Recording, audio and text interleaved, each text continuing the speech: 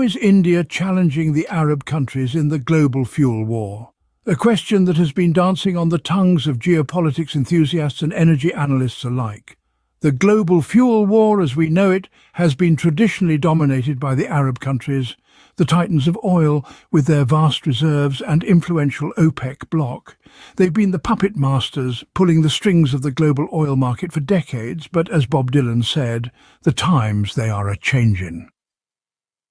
Enter India, a nation on the cusp of a biofuel revolution looking to challenge the status quo.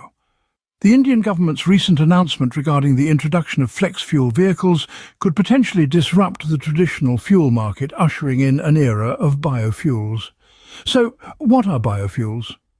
In a nutshell, biofuels are derived from living matter or metabolic byproducts such as ethanol and biodiesel. Their adoption could reduce dependence on petrol, control inflation, and, in the case of India, potentially make farmers millionaires. But the road to biofuel adoption is not without its challenges. With supply and demand-side hurdles to overcome, India's foray into the biofuels market is as much an economic endeavour as it is a political one.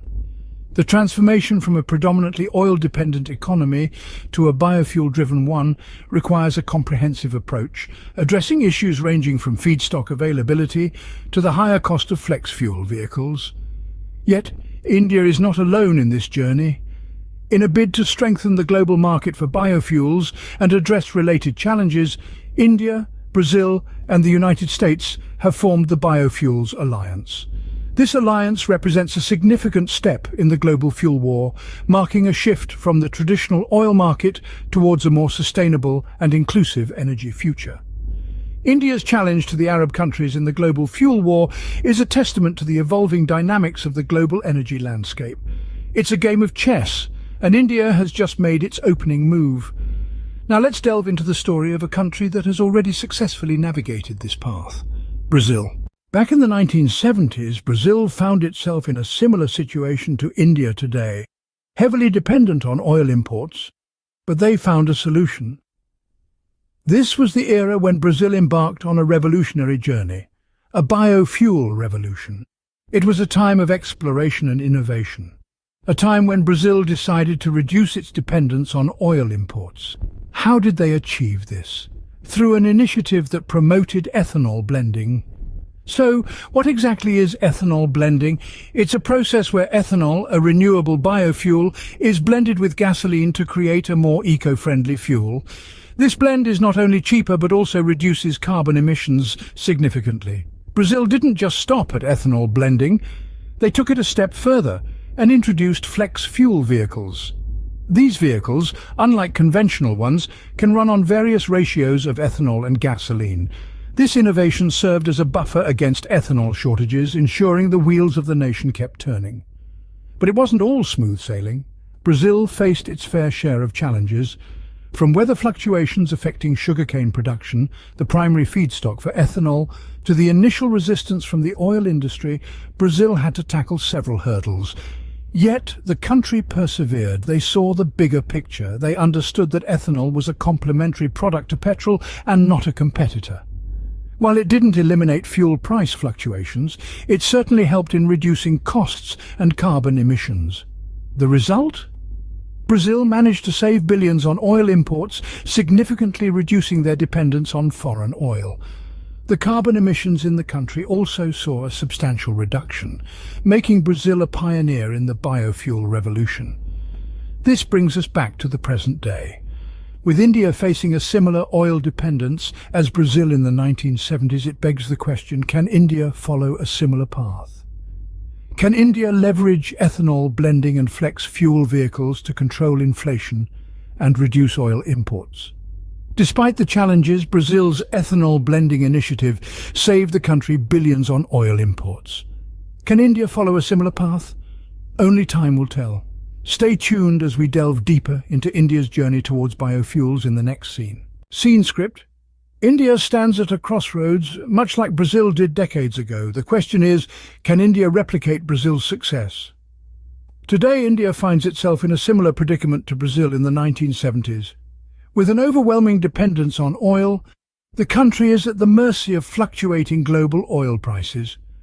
This has a direct impact on the economy, leading to inflation and affecting the common man's budget. Much like Brazil, India sees a potential solution in ethanol blending and flex fuel vehicles. Ethanol blending, which is the process of adding ethanol to petrol, can reduce the cost of fuel and carbon emissions. Nitin Gadkari, India's Minister of Road Transport and Highways, even went so far as to say that it could potentially make farmers millionaires and reduce petrol costs to as low as 15 rupees per litre. Flex fuel vehicles, which can run on different ratios of petrol and ethanol, could also play a significant role in India's energy future. This technology allows for flexibility and reduces the impact of any potential ethanol shortages, much like it did in Brazil.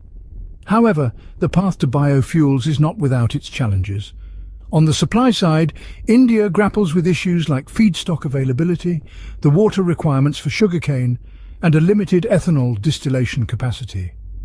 On the demand side, there are concerns about market viability, efficiency, and the higher cost of flex fuel vehicles. Despite these hurdles, the Indian government is taking proactive steps. It is allowing for the use of diverse raw materials, supporting the expansion of distillation capacity and offering interest subventions to boost ethanol production. Furthermore, India's involvement in the Biofuels Alliance with Brazil and the US opens up opportunities to address challenges related to limited sowing area and the cost of flex fuel vehicles. It also aims to strengthen the global market for biofuels, which could be a game changer in the global fuel war. The government of India is taking steps to overcome these challenges, but will that be enough? Only time will tell if India can successfully navigate this path and replicate Brazil's ethanol blending success story, thereby challenging the Arab countries in the global fuel war. Scene script. India is not alone in its quest to reduce oil dependence. Together with Brazil and the US, India has formed the Biofuels Alliance. This dynamic trio has a clear mission, to promote the use of biofuels such as ethanol, decrease reliance on oil, and mitigate the all-too-familiar sting of inflation. The alliance is a testament to the power of international cooperation in tackling global issues. It represents a united front against the volatility of the oil market and the environmental impact of traditional fuels. Brazil's role in the alliance is particularly poignant. Having spearheaded a biofuel revolution in the 1970 ES, Brazil stands as a beacon of hope, a testament to the potential of ethanol blending. The South American nation managed to save billions on oil imports and significantly reduce its carbon emissions despite facing a plethora of challenges. It's a success story that India, with its similar oil dependence, seeks to emulate. Much like Brazil, India is grappling with its own set of challenges, from feedstock supply issues and water requirements for sugarcane to limited ethanol distillation capacity. The hurdles are substantial but not insurmountable. The Indian government is actively taking steps to overcome these roadblocks, diversifying raw materials, supporting distillation capacity expansion and offering financial incentives. But it's not just about overcoming supply-side issues. The alliance also aims to address demand-side challenges. Market viability, efficiency concerns and the higher cost of flex fuel vehicles are all on the agenda. The alliance is determined to create a robust, resilient and sustainable global market for biofuels. By joining forces with Brazil and the US, India hopes to find solutions to limited sowing area and the cost of flex fuel vehicles. This collaborative effort is not just about meeting domestic needs, but also about strengthening the global biofuels market. It's a bold move, a statement of intent, and a step towards a more sustainable future. With the support of the Biofuels Alliance, India is well positioned to meet these challenges head-on. The journey may be arduous, but the rewards are worth the effort. The global fuel war is raging, and with the Biofuels Alliance, India has a powerful ally on its side. So, what does this mean for the future of the global fuel war? As we've seen, India is taking bold strides in shifting its fuel dependence from oil to biofuels. This could potentially disrupt the global fuel market and challenge the dominance of Arab countries.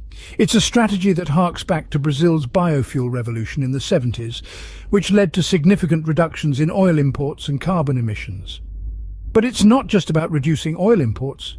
Biofuels such as ethanol also offer a complementary solution to petrol, helping to control fuel costs and carbon emissions.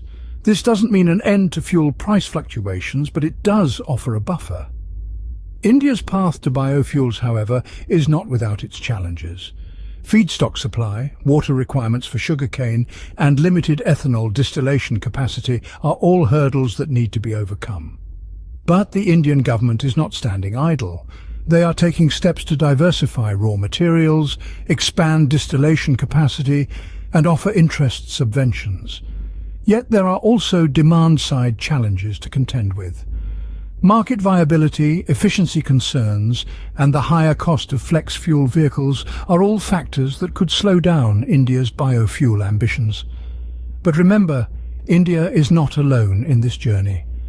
They formed the Biofuels Alliance with Brazil and the US, a partnership that aims to address these challenges and strengthen the global market for biofuels. So as we look to the future of the global fuel war, we can see that India's biofuel efforts could potentially shift the balance of power. They are not just challenging the Arab countries, they are challenging the status quo.